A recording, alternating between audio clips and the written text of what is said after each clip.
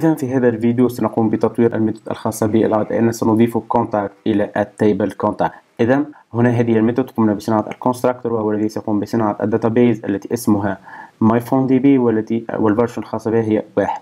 وفي ال onCreate هنا سيقوم بصناعة table يسمى contacts ويقوم بإضافته إلى ال database myphonedb وأيضا في ال upgrade قلنا أنه سيمحو هذا ال table يقوم ببنائه من الأول. الآن سنبدأ بال method الأولى معنا وهي create contact أو add contact. سأقوم بعمل method. لن ترجع شيء. void هنا. وأسميها add contact. كي تضيف contact سنمرر في ال parameter هنا contact. هنا contact. والآن يجب أن نشير إلى شيء أن هنا في ال onCreate أو في ال onUpgrade عندما قمنا باستعمال method exec SQL أو أي method خاصة بال database لم نجد مشكلة لأننا هنا هنا لدينا ال database في ال parameter أي جاهزة لنا في ال parameter لكن هنا عندما نصنع method خاصة بنا ليست لدينا أي مت أي database ليست لدينا variable من نوع database كي نستعملها. لذلك سنقوم بعمل declaration ل SQLite database هكذا db ونقوم بأخذ نسخة من ال database الحالية. لذلك سأقول هنا this أي خذ من هذا ال class نسخة من ال database لكن كي أخذ نسخة من ال database لدينا نوعين. سأخذ ال database للقراءة أو سأخذ database للكتابة أي get writable database أو get readable database. في هذه الحالة نحن نقوم بعمل add نحن نقوم بإضافة بيانات في ال database أي نقوم بعمل write. Then get writable database. وكي نضيف بيانات هنا؟ لدينا method تسمى هنا تسمى insert. أي أضف في ال database. هذه ال method تأخذ في ال parameter الأول اسم ال table الذي سنضع في ال database. لن أقوم بعمل كتابة هكذا. Contact لأننا سبق وأن وضعناه في variable table. Contact هنا. هذا ال parameter الأول. وال parameter الثاني هي معلومات الذي أريد أن أمررها null أي لا أريد أن أمررها. لكن في, في هذه الحالة ليست لدينا أي variable من نوع null.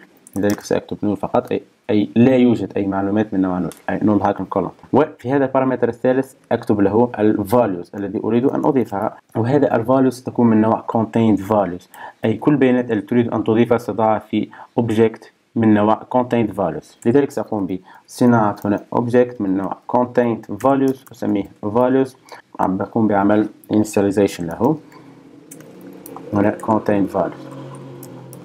وأبدأ بملئه كي أستطيع تمريره هنا إلى ال table contacts هنا values و put. هذا ال put تأخذ key و value. ال key هو هنا هذه ال key أي اسم. هذا ال key إذا هنا الاسم اسم الخانة التي أريد أن أضيف فيها وال parameter الثاني هو ال value الخاص بتلك الخانة. إذا بالنسبة هنا ال key هو ال key name وال value هو contact dot get name.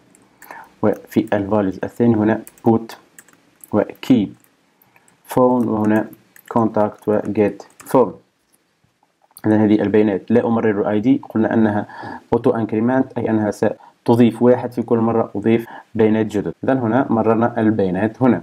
قمنا بعمل db هنا db this. Get writable database وهنا أضفناه.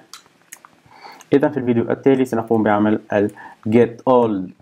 Element from database. سنأخذ كل المعلومات من ال database سنأخذ كل contact من ال database. كي نستطيع تجربة تجربة المشروع لأن هنا فقط عندما نعمل add لن نستطيع تثبت من أنها من أننا قد أضفنا شيء في ال database إلا عندما نقوم بأخذ المعلومات. ولذلك سأترك التجربة في الفيديو التالي. لا تنسى الاشتراك بالقناة والانضمام إلى صفحتنا على الفيسبوك وأيضا مشاركة الفيديو مع أصدقائك كي تعم الفائدة.